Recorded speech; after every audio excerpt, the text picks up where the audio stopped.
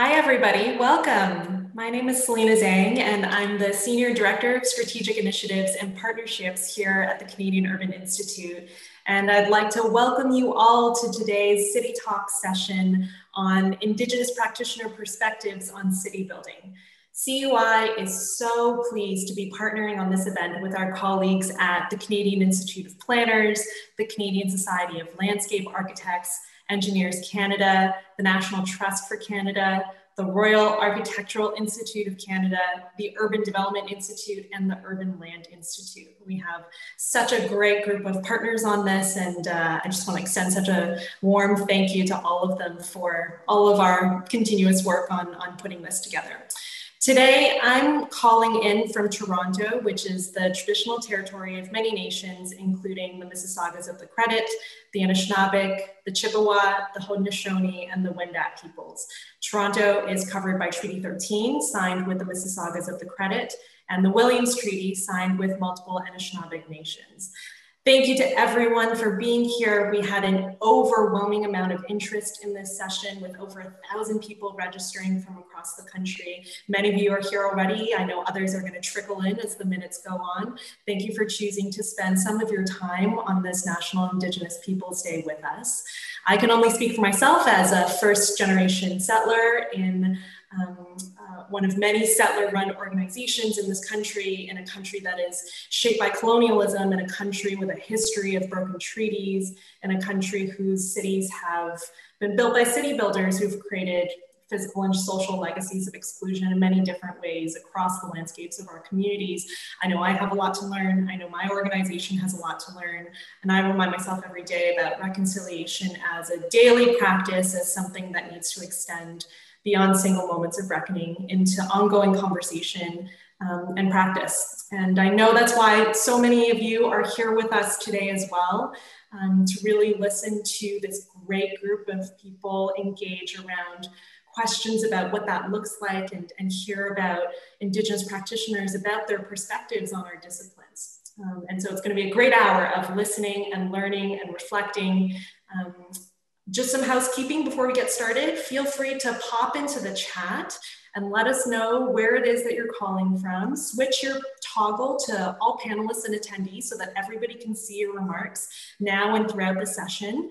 Um, and if you know whose land you're on, feel free to make a land acknowledgement of your own.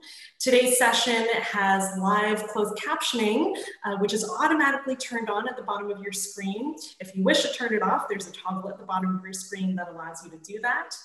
Uh, this session is also being recorded. So if you need to jump off early or if you know somebody who really wanted to be here or who should have been here um, that you want to send this, this event to after the fact, you'll be able to uh, see this at our website at citytalkcanada.ca.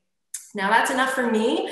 Let me pass it on to who you are here to see. So I'm so, so pleased that this session is being moderated by our friend in Edmonton, Hunter Cardinal. Hunter is a person extraordinaire. He's an actor, he's an Indigenous myth architect, He's the co-founder and director of story at Naheyawin, and he was also recognized as Edmonton's best actor and um, was also in Edmonton's top 40 under 40. So he's a, he's a man of many skills, many talents, many stories. Um, so uh, uh, Hunter, over to you.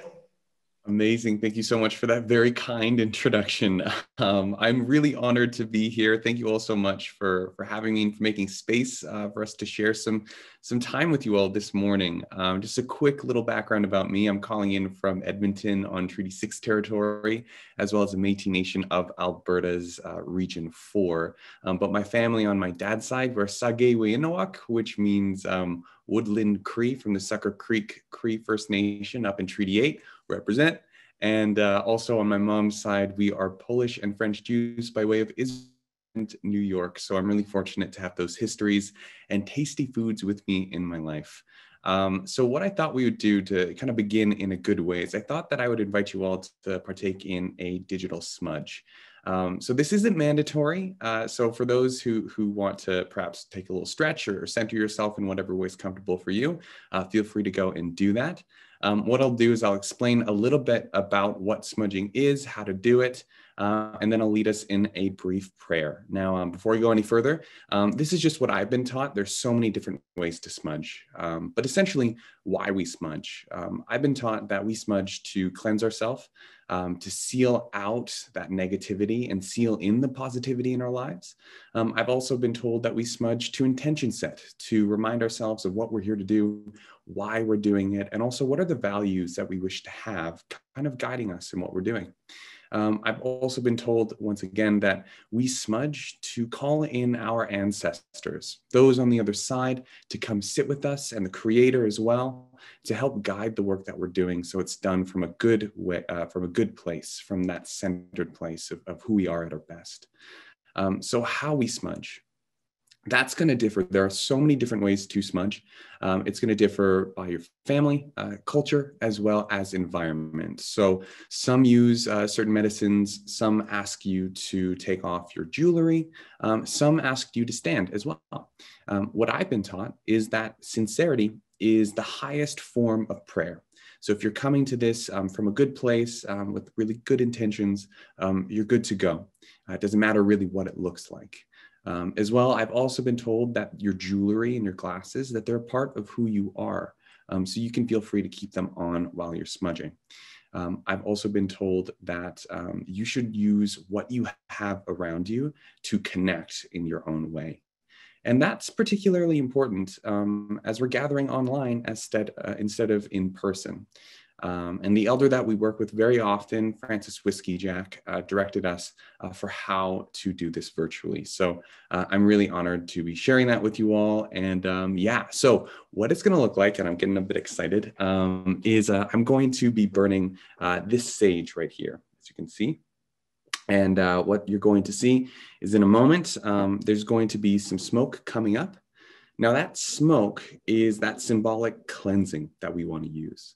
Um, and it's also our connection to the creator and to all things. And it's also been said that our thoughts and our prayers go up with um, that smoke to the creator, uh, and that's how they're able to hear us.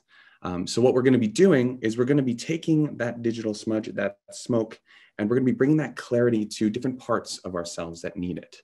So what I've been taught um, is I, I, like to typically take off my glasses and kind of give them a nice smudge. Um, and then what I do is I bring that clarity to my eyes so I can see good things, my ears so I can hear good words and good thoughts, my mouth so I can speak good words um, and, and good thoughts, because it's a very powerful medicine, our words and what we say. Um, I also bring it to my heart to remind myself to be open to everyone around me. Uh, sometimes, if I'm feeling it, I'll put it uh, over my legs to make sure that I'm on the right path in life. Uh, and then, especially lately, I've been bringing it over myself to kind of finish really asking for that, that health um, and that well-being. Um, so what I'll do is I will show you all once again when it's lit, um, what I'll do, and then I will then hold it up to the camera um, for you all to pretend as if I'm right across from you. You can kind of take that, that smudge and just kind of go and do whatever feels right to you. Um, there's no wrong way to do this, um, as I've been taught. So if you feel like, you know, I don't remember all the different things that Hunter just said, don't worry about it. If you're coming at it from that sincere place, you're good to go. Um, so I will light this. Um, I'm using a lighter today. Um, sometimes I use matches. Um, some folks say use one or the other. Um, I've been told that um, it, it doesn't matter per se. So that's what I'm doing. So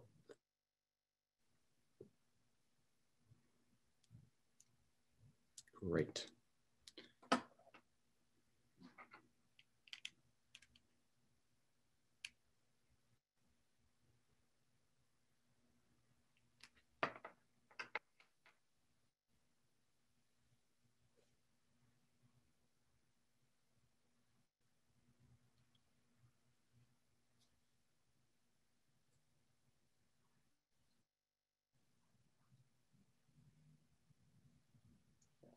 Amazing. So that's how I do it. Now I'm going to hold it up to the camera so everyone at home can smudge. And we'll just take a moment and uh, you do what feels right.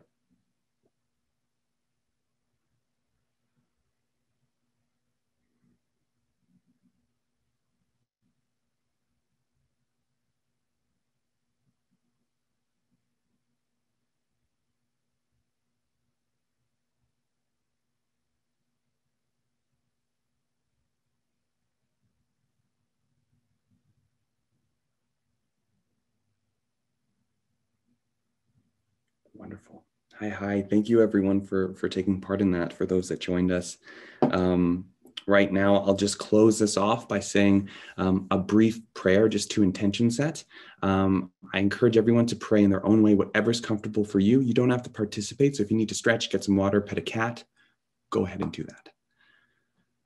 Uh, I want to call in our ancestors, all of our ancestors, those on the other side, to come sit with us today as we listen and learn and share um, in a good way with our hearts and our minds open uh, as we dream of a better future.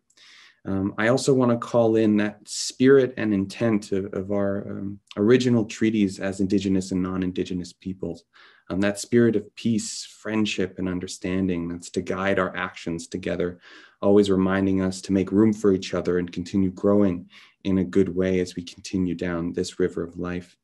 Um, and uh, as we're walking towards being and becoming better people, each other. Hi, hi, Kenenaskumatan. Amazing. All right. I'm so excited to begin um, our time together. So, uh, without further ado, um, I'd like to invite all of our panelists to uh, turn on the cameras, unmute yourselves um, so you can uh, meet this wonderful audience that we have here today. So you can all take the time to, yeah, there we go. Amazing. Okay, this is so great. Um, I'm going to uh, ask you all to uh, take turns introducing yourself, sharing a little bit about kind of who you are, who you're from as well. Um, how does your work contribute to city building? Um, so I will start with, because uh, I have the power of uh, moderation. So I'm going to begin uh, with Eladia. Would you like to introduce yourself? And then after Eladia, we'll go to Danilo. Bonjour, Ani. Kejigabawik Indigenous, Obashika Kangandonjaba, Wabashki Mayingan and Dodam. I'm Eladia Smoke, uh, Principal Architect with Smoke Architecture.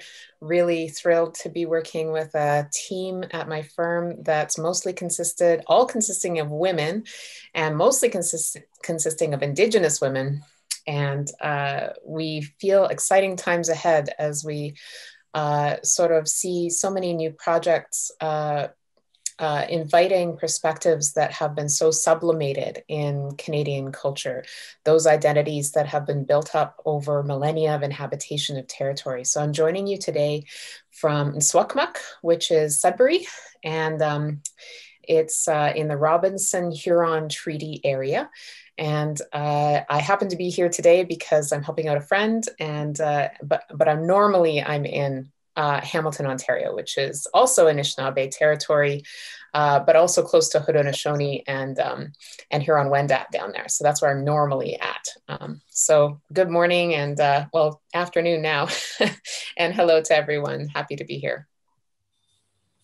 Amazing, thank you, uh, Danilo. We'll go over to you next, and then after Danilo, we'll go um, to Naomi. Bonjour, Minogajab. Danilo Dendishkas, Wabazesh Nindoro, Kamloops Nindunjaba, Sagamok Anishnawbek First Nation Dibandagos, Ninshigudaya Vancouver, uh, Nimigwech Wendam, uh, Geni Nongo Mampi Gibijayan. Um, hello, I'm Danilo. Um, I'm um, from the Marten clan and I'm originally from Kamloops, BC. Um, I'm a member of the Sagamok Anishnawbek First Nation and I currently live in Vancouver. And I'm very, very pleased to to be here today, um, calling from the Musqueam traditional, ancestral, and unceded territory. And uh, a little bit about the, the work I do. I'm very fortunate to kind of um, to have a wear a couple different hats. Uh, one is with the UBC Applied Sciences faculty, uh, supporting our Indigenous engineering students. I'm a recent grad from that program. I'm currently doing my master's in civil engineering. And um, as a new engineer, uh, engineering and training, um, I'm very fortunate that I've been asked and brought on board to lend my Indigenous perspective to the work that we're doing on a specific project. So uh, I'm, I'm fortunate um, that I can combine, you know, some of my passions and my culture uh, with the work I do. Fantastic. Thank you so much, Danilo. Uh, Naomi, I'll toss it over to you, and then we'll go to Lorna. Great. Thank you so much. I'm so excited to be here today. Uh, my name is Naomi Ratte. I am calling from Treaty One territory in the homeland of the Métis Nation here in Winnipeg. Um, I wear a few different hats. But, so for one of my hats, I'm currently a Master of Landscape Architecture student at the University of Manitoba in my practicum year. Um, my practicum is focused on, um, it, or the title, sorry, is called Lost Natures, Visualizing Anishinaabe Foodways um, from St. Peter's Peguis. Um, so I'm working with my community on understanding connections to the land through the lens of food and food security. Um, it's been an exciting and complicated journey um, that I'm still on. So we'll see where it leads me, but I'm I'm grateful for all the lessons that I've learned so far. Um, I'm also the uh, co-founder of the Indigenous Design and Planning Students Association. Um, we recently launched a book called Voices of the Land, um, which is something that we're, we're really proud of. And we've been given a lot of space in a lot of the design communities to discuss the work that we've done. Um, so I'm hopeful to speak about that later on today. Um, and I'm also a member of the uh, CSLA's Reconciliation Advisory Committee. And um, for my work, I am a uh, technical researcher and landscape architectural intern with Nvision Insight Group, which is a um, Indigenous consulting firm with offices in Ottawa and Iqaluit. Amazing. Thank you so much, Naomi. Uh, we'll go over to Lorna, and then to wrap it up, we'll go to Tonii.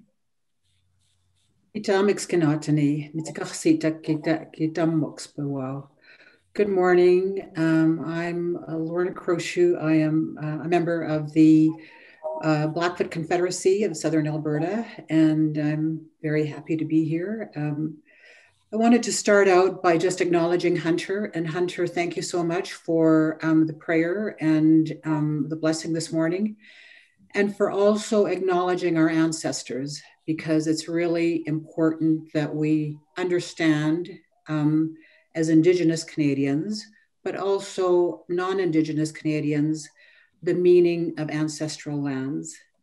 And um, sometimes we forget that Indigenous people still have a strong relationship with our ancestors, especially when we are, we are on the land.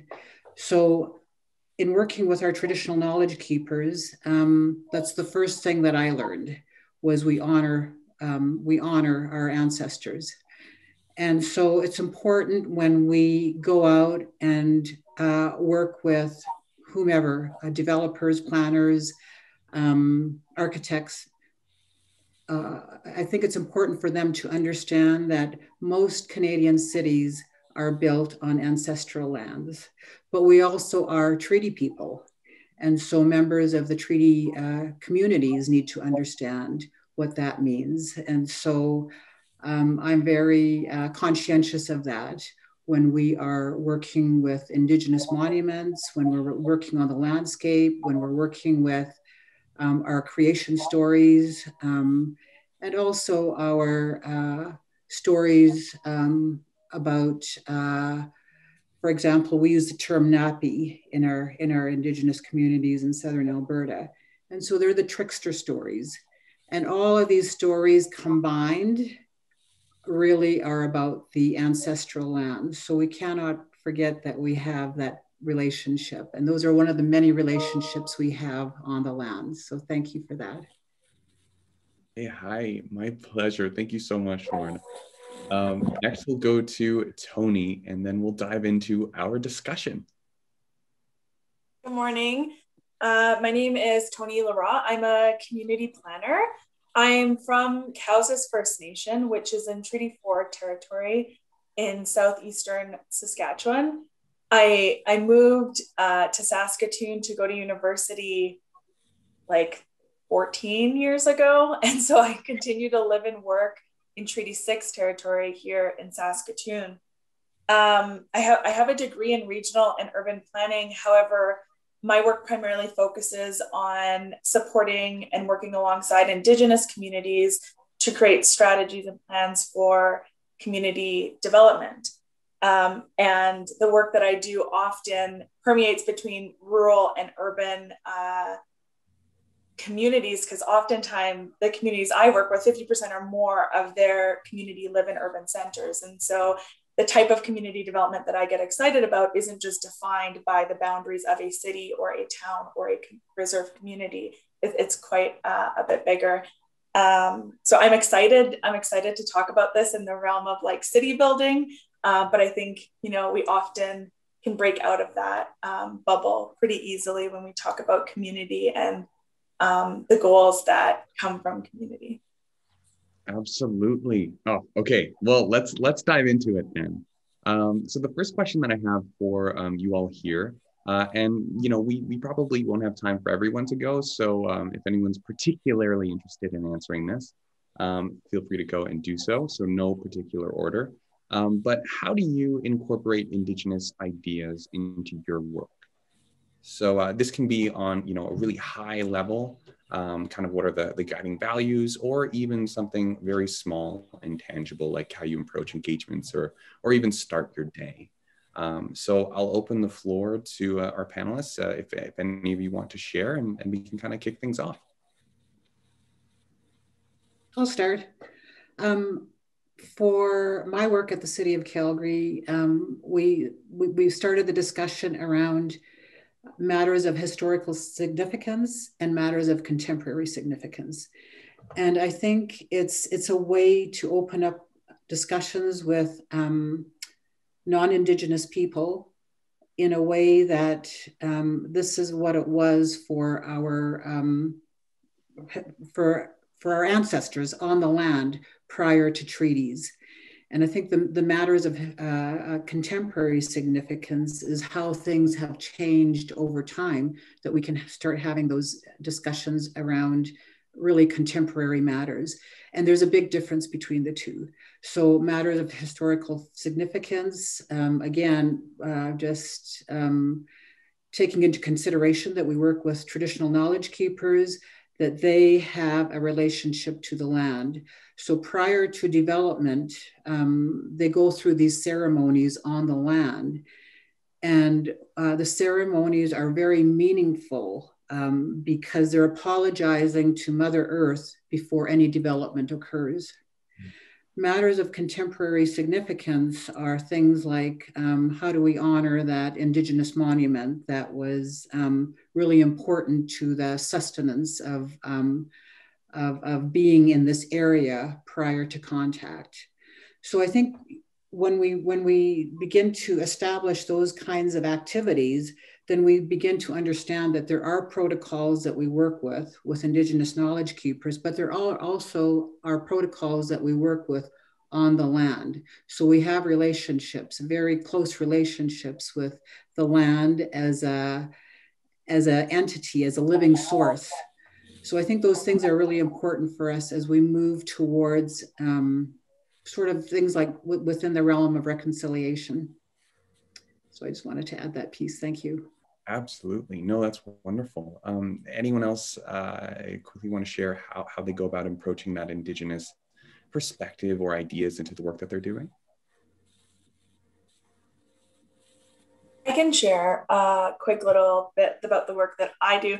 Often, um, I, I feel really grateful. I get to go right into community, um, again, r- rural and urban, and have discussions directly with citizens of nations about you know what is currently affecting them and how they hope to see their community develop and the impacts and outcomes that they would like to see for themselves and their families um, and i get the amazing task to work with them to amplify those um, those aspirations and create a roadmap. So oftentimes my work is really specific to each nation um, which I feel super grateful that every time every time I have a discussion with a new community, I feel super grateful that I get to be a part of that dialogue and amplify those goals.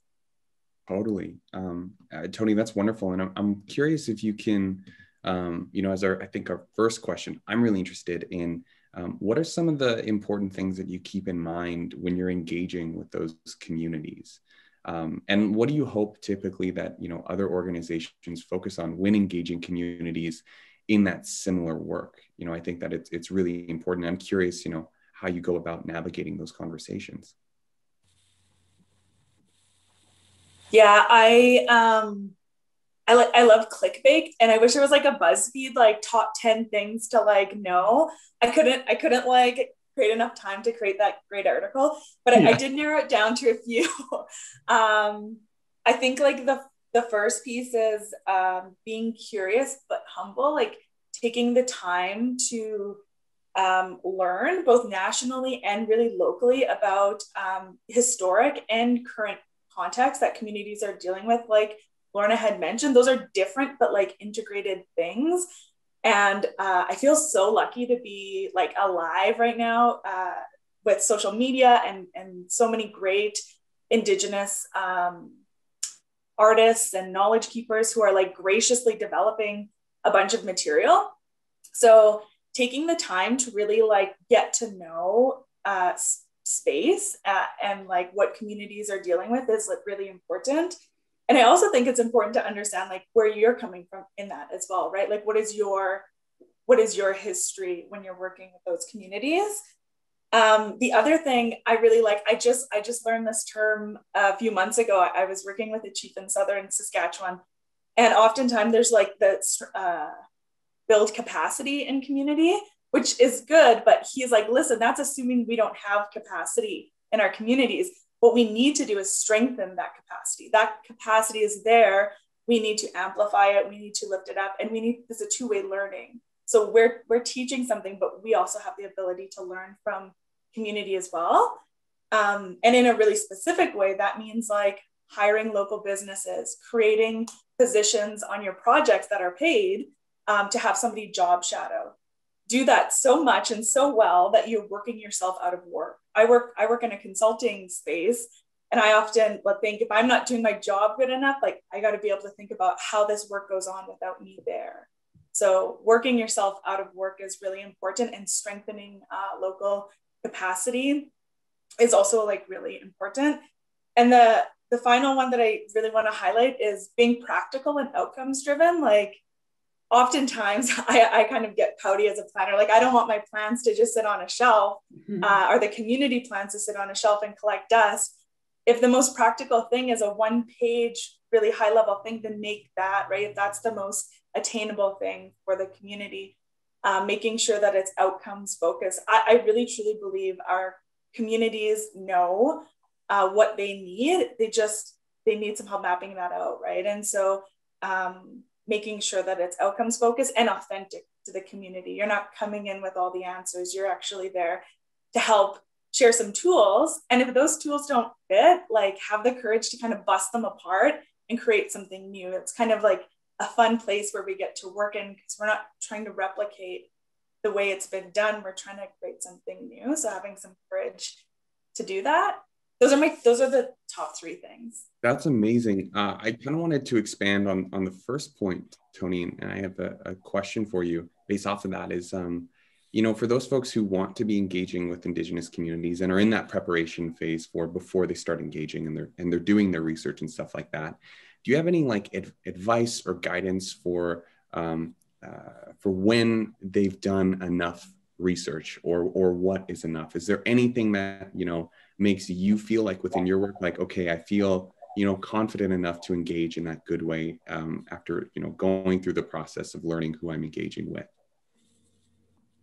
I don't know if this is the right answer but this is the first thing that comes to mind for me is uh, often like relationship building like literally like having a conversation and multiple conversations with people who you want to be engaging with like early and often and throughout that answer kind of starts to come out in itself. Like you can't isolate yourself. You'll drive yourself crazy, I think, if you just sit there and worry about all the what ifs. But in the end, like we're human beings who are trying to build relationships with one another. And I think if we approach it in that way, and, and I loved your point at the beginning around sincerity, like if we're sincere and honest and humble about that, I, I think those answers start to come out. Awesome. Thank you so much, Tonii. Um, Lorna, you've led some like pretty incredible policy development um, in uh, Calgary, for example, the City of Calgary's Indigenous policy and Indigenous policy framework. Um, so, you know, from your experience in providing leadership on particularly the White Goose Flying Report, um, which is, for those of you who may not be familiar, basically the City of Calgary's path towards reconciliation. Um, what is your advice uh, to municipalities that want to take meaningful steps and actions um, towards righting relations with Indigenous peoples. and uh, you know even building off of that like what ability to incite lasting change do policymakers have which you know excites you personally um, in this respect well i think education goes a long way if we cannot um, help support and that's part of the capacity capacity building as well. If we cannot support our institutions um, to, to learn and educate then we're, we're sort of that, that's part of the barrier. We can't go forward because if we want to go forward we have to be sort of on the same plane going forward and i think education goes a long way um, sometimes we work with um, institutions and i'm not just any institution i think um, if you can't if, if, if you don't know then we can't move forward um, in, in sort of building this, um, this uh, I, I, guess, policy together. We can't move forward on, on building TRC together. Um, so I think education goes a long way. And I think we have many, many educators in the Indigenous community who could come and help and assist us. So it's not lack of, of, of, of of people not having the knowledge and the educational background to come and help our institutions. It's also um, a responsibility for institutions to say, we need that support, we need that help. Um, how can we, uh, how, how can we play a role in this? And the big thing, like on the weekend, of course, is UNDRIP, right? And UNDRIP speaks very loudly to um, I guess, planning, right? Because there's a role for planning in UNDRIP. And, and we need to go a step further and begin to learn about UNDRIP and um, the work that we have to do in terms of Aboriginal and treaty rights and how it relates to the land again and how it how those relationships are built through UNDRIP. So there's some big pieces coming up through the TRC I think we need to start paying attention to. But we need um, non Indigenous Canadians to be our supporters, to be our allies, and moving forward on these on these subjects, and to really understand, for example, um, things like our protocols. And so we're all in this together. Um, we've heard enough about we are all treaty people. Well, we are all uh, Canadians. And I think we, we need the support of all Canadians in moving forward with some of, whether it's policy, whether it's UNDRIP, whether, you know, wh- whatever it is, we need that support. Thank you. Absolutely. Yeah. Lorna, so what I'm hearing is like really being aware of those foundational documents. Absolutely. Be, yeah. If you can't, I mean, like residential school has been on our radar screen. Mm-hmm. And um, we have to understand I've, I've been in my community uh, especially on the weekend and, and talking to folks in my community we have these spring ceremonies that we attend and everybody right now in in, in my community and in, in the blackfoot community everybody is is feeling traumatized right now. And so when you when people are feeling traumatized they feel somewhat hopeless. So we have to allow that hope to come back um, and, and be part of our our reality and mm. be part be on our radar screen um, because indigenous people want to move forward in some way. But for whatever reason sometimes we get we get held back so we have to be hopeful that we can continue to move forward on any of these subjects whether it's trc or indigenous policy making whether it's contemporary or historical we need to find a way to move forward and i think education is going to help lead us um, in that direction. Hi, hi, awesome. Thank you so much, Lorna. Thank um, you.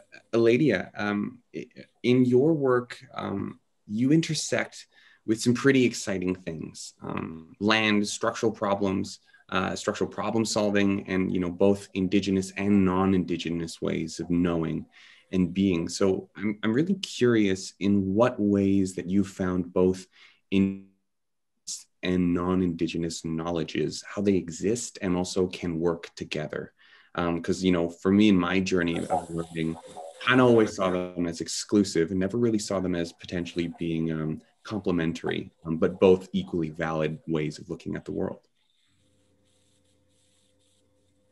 I asked um, uh, one of our, I guess, I guess we should probably call her an elder now because she's a retired architect, the very first First Nations heritage architect or Indigenous heritage architect ever to have practiced and been licensed in Canada. Her name is Harriet Burdett Moulton.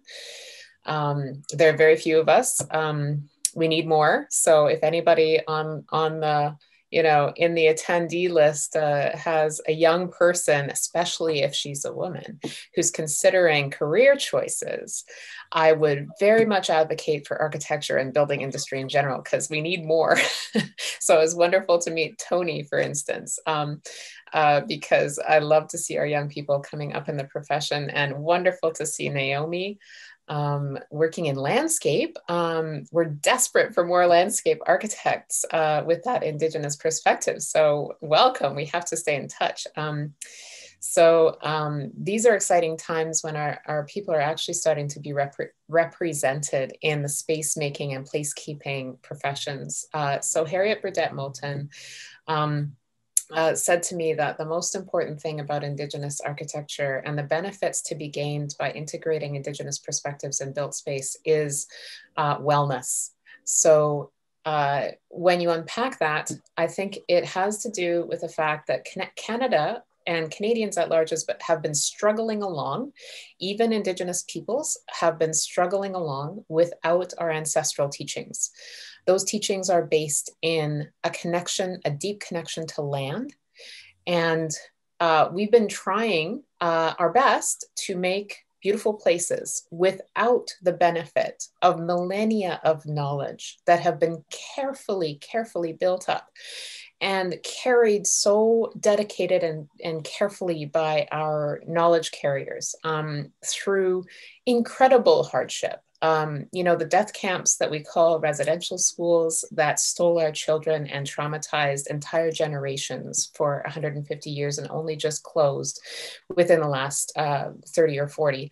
Um, you know those those places uh, stole so much from us and not just indigenous peoples they stole from canadians in general because my view is if you are born in these territories, this is part of your identity. This is part of your birthright. You have a right to know what Indigenous peoples have to share what we've seen is when we integrate Indigenous perspectives into spaces, we have a great richness of understanding that comes forward and creates places that allow for um, diversity, that allow for accessibility, that allow us to adhere to our protocols, that um, reconnect us to the life systems that support us reconnect with each other.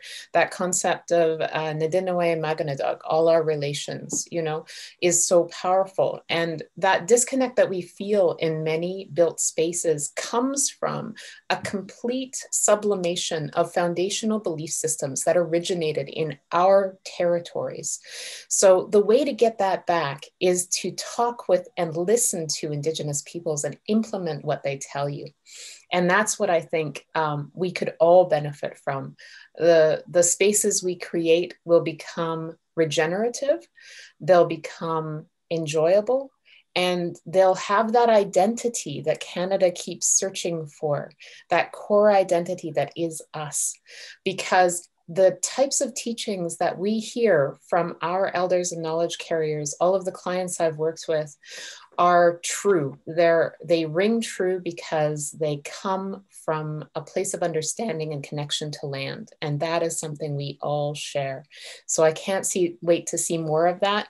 We've been uh, collaborating with architects to achieve this. And I, I really hope that our young people who are coming up into the profession continue this really good work because we need more of us doing it. We only have, I think, um, like I can count on one hand the uh, women uh, Indigenous practitioners in my profession of architecture. They're very, they're not enough of us. that's so exciting. Um, and I think one thing that's really important is when you're um, engaging uh, Indigenous voices um, and perspectives and ways of knowing, being into projects like what you work on, um, it's really important the timing of when you seek and implement that feedback. So, you know, what at point in a project do you engage Indigenous peoples? I think that that may be a, a, a question that I, I'm curious to hear your thoughts on right at the beginning when you're imagining what this project might be, uh, potentially even before funding is confirmed. Um, municipalities need to connect with Indigenous peoples and uh, create and strengthen those reciprocal relationships so that decision making is shared in uh, in, in uh, major undertakings that are occurring in our territories, which is all of Canada. So UNDRIP, the, I was so excited when I heard that it's been um, legislated, it's been backed up with legislation. So Canada adopted it some time ago, but it was not backed by legislation. Now it is.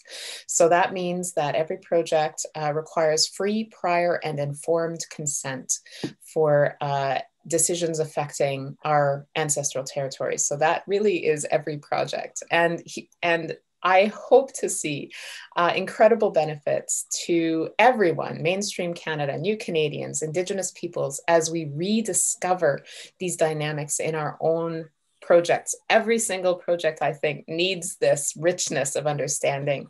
And it's so easy to do because you just talk to Indigenous people, listen to what they say, and then you implement it. It's like, and then continue following up. no, that's amazing. Thank you so much, Lydia. Um, Naomi, I'm really curious, you know, from your perspective, um, as a student and the work that you're doing there, um, what have you been learning about city building, you know, with regards to reconciliation, righting relationships with, with Indigenous peoples.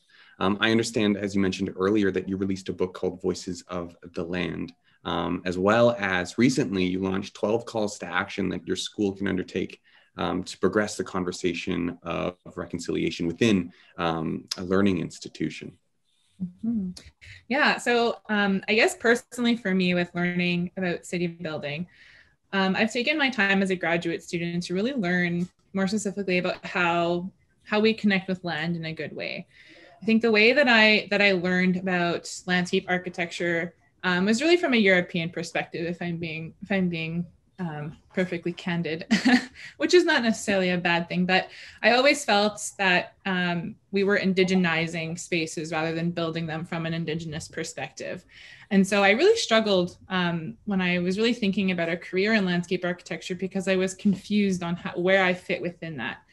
Um, and I think a lot of what Eladia was also saying too about representation, I didn't see a lot of Indigenous architects. I knew Dave Thomas and Cheyenne Thomas, his daughter. Those are the only two Indigenous architects that I knew, but I didn't know any Indigenous landscape architects.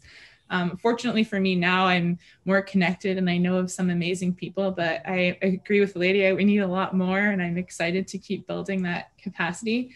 Um, but yeah, so in terms of um, in, with my education, it's really I've been exploring how do we connect with land um, in a good way. And so with my practicum journey, um, so my a little bit of I'll give you tiny history about my community. Um, so Peguis was originally at uh, the mouth of the Red River. We were known as St. Peter's Reserve, and um, our reserve was illegally uh, surrendered to make room for Scottish settlers. And so then we were relocated to where present day Peguis is. And um, Peguis was actually one of, or St. Peter's was actually one of the first agricultural communities. And so when I, I knew this history my whole life growing up, my dad always told me, but I didn't really understand how connected we were to the land. And so there was this huge disruption within our community, um, which is what really drove me um, to study it in my in my practicum. Um, and again, there's some really great people in this profession that are doing some inspiring work. And so I see city build positive city building talks and rewriting of how we city build from an indigenous perspective happening all the time. Um, so Voices of the Land. So this was a publication that um, I released through the Indigenous Design and Planning Student Association um, in February of this year, of 2021. And so it's a collect, we like to describe it as a collection of stories. And so it has um, 16 Indigenous students who are currently enrolled um, in the Faculty of Architecture, which was a huge surprise in itself. When we had started the Student Association, we didn't know how many Indigenous students we had. Um, and so to see 16 was so heartwarming. And all of us gathered once a month. Um, we shared if we had, and it was just a great sharing time. We would share if we were frustrated with something, we would talk about our projects, and then we talk about exciting initiatives that we, that we wanted to do at our school. Um, and so Voices of the Land, again, um, it was a publication, had 16 students, um, and we interviewed um, practitioners. So there's four interviews at the end of the book um, that talk about just different perspectives in design. And Eladia was one of um, the fantastic practitioners that we that we were able to interview. And so the title of Voices of the Land was actually inspired by this quote that we found in the executive summary of the TRC report.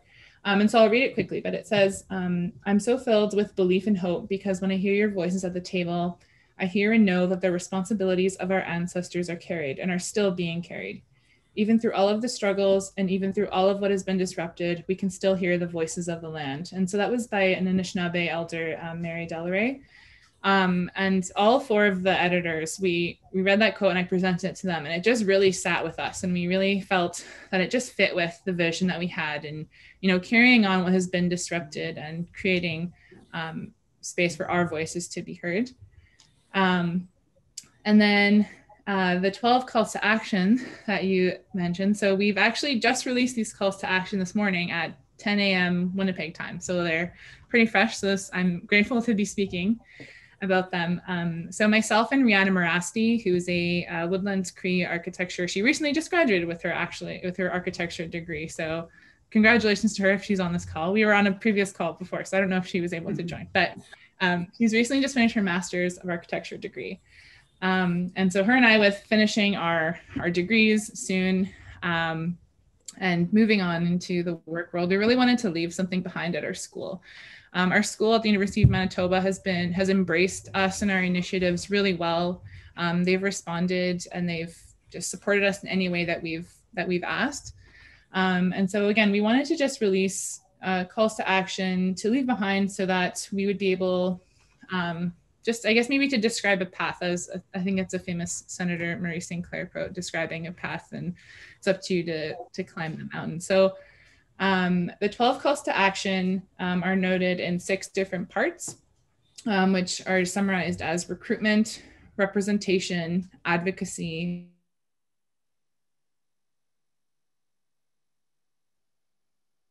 student body.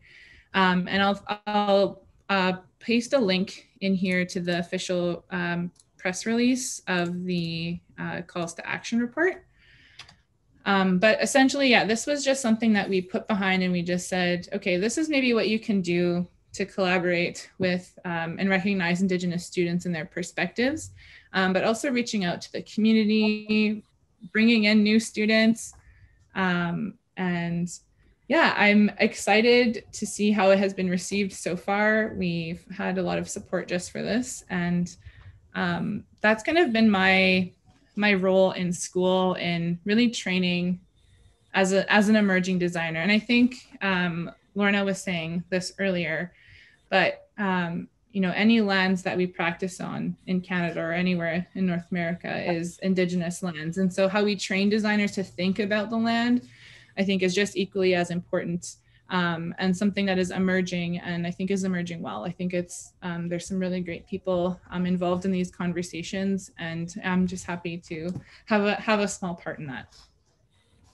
Oh my gosh, that's so wonderful! Thank you so much, Naomi. Um, so we're kind of towards the the latter uh, end of the our time together. So I'm I'm going to toss this over to uh, Danilo. Um, you know, from my conversations with knowledge keepers, elders, and, and so on, you know, when speaking about their hopes for their descendants and future relations, um, I've always noticed this. They're very hesitant to be pres- prescriptive of like, you know, you should do this, you should do this, you should invest in Bitcoin and so on. Um, so, you know, they, they instead really converge upon ideas that they hope those in the future will be able to essentially live a more indigenous way um, a more indigenous life and then provide the means for the next generation to do the same. So i'm really um, interested from your work as an indigenous student engagement coordinator for ubc's um, engineering um, services you know in what ways do you hope students are able to be more indigenous while engaging with the world of engineering Um, and I, you know, that could be on a high level or something, you know, really small, intangible. Um, exa- like it could be like demonetizing their means of living, so they're not, you know, really focused on that. They can focus on other things. Um, but yeah, I'm, I'm curious your thoughts on that. Yeah, you know, um, I can feel I can speak from my experience as a uh, a recent engineering undergrad student, and also from the Indigenous students that I've that I've met. So I, I can approach this from from an Indigenous student perspective because uh, there isn't a lot of space or any space within the engineering culture. And I know that this is going to relate somewhat to planning and architecture as well, but there isn't much space for like Indigenous culture and identity within engineering. Um, you know, engineering students are, Indigenous engineering students are, are really underrepresented. And you know, at UBC, we try to um, to support our existing students um, by creating a sense of culture so that they can bring that part of their identity with them. Um, but it's been very hard, you know, last year and a half, as everyone um, can attest. Um, now we also try to um, tweak our admissions to recognize certain challenges that that some Indigenous students have. the other component, which is harder and less within our control, is is attracting indigenous students to engineering and this would be the same for planning and architecture as well is how do we how do we inspire uh, prospective students to come to us. And um, you know at ubc we have we have an outreach program that reaches over 2000 indigenous youth every year but that's not going to close the gap above uh, itself right? So we have this challenge and and if i could just park that for a second i'll connect it to urban design and city building because they're related. Um, the, um, the example I'll use is like how we're adapting to climate change. Um, you know, uh, planners, architects, and engineers, uh, we're all mitigating and adapting to changing weather um, and rising sea levels. And you know, this is this is demanding you know multidisciplinary teams to reimagine our spaces. Um, ways of knowing um, is in, in, in, engineering curriculum is well underway at many universities. And one thing that I found is that there's this there's this desire or a need to to create a mapping from like one concept in Western knowledge to the con to the to the opposite in Indigenous knowledge. And I think that misses the point. Um, so the example I'll use is the notion of like the relationship to land. This has been mentioned today multiple times. And um, and the sense that um, without creating a, a pan-indigenous stereotype, um, this is always this is usually held central. And in engineering education, there's really no space for the consideration of our relationship to the land. Um, rather, it's assumed that we'll have total control and dominance over the landscape. And you know, as we reimagine our coastlines, for example, you know, we would do well to consider what kind of relationship we're fostering. And, you know, including indigenous principles at the outset, you know, will will change the kind of questions we ask, you know, and and and obviously that will that'll change the approaches that we take. Um, fostering a relationship that has a responsibility to to all uh, past and future creation is and, and one that um, that that is based on reciprocity, you know, as opposed to viewing the land as just something that you that you build on and build over. Um, you know, is something that is in contrary is contrary to like our approaches that we take, from my opinion. Um, you know, starting with the relationship to the land that the local indigenous communities have, um, and then um, you know, approaching problems with humility. You know, this is this is an approach that I think this is this is where indigenous knowledges and worldviews can complement Western knowledge. You know, to return to the original question about you know how can um, professional practice enable our students um, to to be more indigenous. You know, and I'm speaking about our indigenous students having to traditionally leave their their culture at the door. Um, if if in professional practice we include the wisdom and culture of indigenous uh, uh, communities you know the spaces are going to reflect those values. You know and prospective students are going to see themselves reflected in the landscape around them the urban design the cities. And that'll that'll that'll inspire them to be part of this you know to Eladia's point like we need more you know we more need more women architects well maybe it's not we're not drawing our people to these professions because they don't see themselves within it, right? So um, I think that if we can incorporate um, principles of Indigenous knowledge into our cities, students will, will naturally be drawn to these because they'll see some of the values of their community in the professions. And, and they won't, they'll know that they don't have to check their identities at the door. Hi, hi. Thank you so much, Dan- Danilo. It's like so powerful um, and, and absolutely wonderful. And, you know, as we close our time together, I just want to kind of make uh, make this space open. Um, we have a couple of moments, and then I'll do a quick closing prayer. But would anyone like to share any final thoughts? Um, uh, anything that you hope the folks listening, uh, you know, carry with them? Uh, we we don't have to hear from everyone, so if you're like, I said my piece, we're good to go. Yeah, yeah, Lorna. Please. Well, well, I just wanted to say um, thank you uh, um, as as you close here for allowing us to to voice um, who we are as Indigenous people and um, what we feel in terms of our uh, Indigenous perspectives. And I hope um, we can continue to bring our con- Indigenous perspectives to the table because they're really important perspectives, especially at this sort of or, or this time and place that we're in as we discuss um, things like UNDRIP, truth and reconciliation. And I hope folks will understand that we are speaking our truth as we come to the table, but we need somebody listening to those truths as well. So thank you for that. And um, always again open to, to learning. I, I learn from our traditional knowledge keepers, and we hope to share that information with others. So thank you for that. Awesome. Hi, hi. Amazing. Well, on that note, I'll, I'll say a few words just to wrap us off in a, in a good way, wrap us up. Um, and uh, yeah, okay. So, um, yeah, I want to give thanks for for everyone um, from across the country from from joining in and spending time with us this morning. Um, I also want to give uh, special thanks to um, our ancestors, those family members, those loved ones that came and joined us and sat with us today, and the Creator, and made such a, a safe, um, exciting, and warm place for us to share, you know, our thoughts and, and our hearts with each other, um, and to come together in that spirit of peace and friendship and understanding. You know, that's at the heart of our relationships um, as Indigenous and non-Indigenous peoples. Um, so I want to give thanks to that, and I also want to uh, to uh, send our uh, relatives and, and, and those on the other side home um, and thank them once again for spending time with us.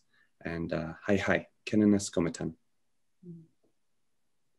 Amazing. Okay, everyone. Thank you so much. Please have a wonderful day. Happy National Indigenous Peoples Day.